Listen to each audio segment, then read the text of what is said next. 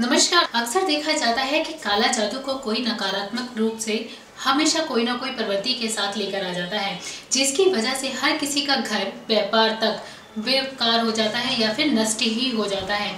हमेशा कुछ लोग ऐसे होते हैं कि काला जादू करने की प्रवृत्ति को लेकर हमेशा चिंतित रहते हैं और जिसकी वजह से वह हमेशा अपने व्यापार को खो देते हैं। नष्ट होने की प्रवृत्ति को देखकर वह हमेशा दुखित हो जाते हैं, जिसकी वजह से उनके जीवन में सभी दिनचर्या चलने वाली सभी बिगड़नी शुरू हो जाती हैं। उन्हें नुकसान होने लगता है, जिस नुकसान को देखकर वह हमेशा अपने दिल को ही बैठा जाते हैं, यानी कि दुख हो जाता है, जिसकी वजह से वह अपनी प्रवृत्ति को ठीक नहीं कर पाते हैं। काला जादू ऐसा जादू है जो हमेशा लोग एक दूसरे की जलन में कर देते हैं और जलन होने की वजह से दूसरे का नुकसान करते रहते हैं। और यदि आपके जीवन में भी ऐसा ही कुछ है, आपको लग रहा है कि आपके जीवन में जितने भी काम थे जो सुचारू रूप से चल रहे थे, लेकिन अब आकर बंद हो गए हैं या फिर नष्ट होते ही जा रहे हैं तो उसके लिए ज़रूरी है कि आप कुछ उपाय कर लीजिए। यदि काला जादू होगा तो दूर हो जाएगा।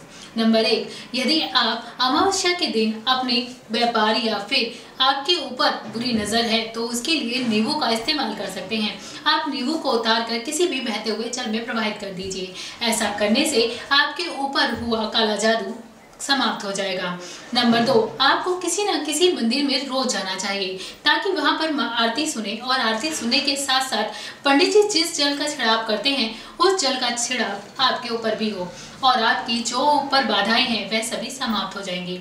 नंबर तीन, हनुमान जी का रोज हनुमान चालीसा पढ़ें या फिर श्रोत भी पढ़ सकते हैं, जिससे कि आपके ऊपर आई बाधा दूर हो सके। नंबर चार, यदि आप नहाते हैं तो नहाने के समय, यानी कि सुबह नहाने के समय, तुलसी के दो चार पत्ते अपने नहाने वाली बाल्टी में डाल दीजिए और उससे स्नान कीजिए। आपके ऊपर जो भी बाधाएँ होंगी, वह भी समाप्त हो जाएँगी।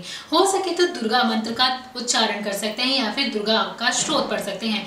ऐसा करने से भी काला जादू दूर होता है। तो ये आसान से उपाय है, यदि आप करते हैं तो आपके ऊपर जो काला साया है, वह दूर हो जाएगा। मेरी इस वीडियो को लाइक शेयर एंड सब्सक्राइब करना ना भूलें।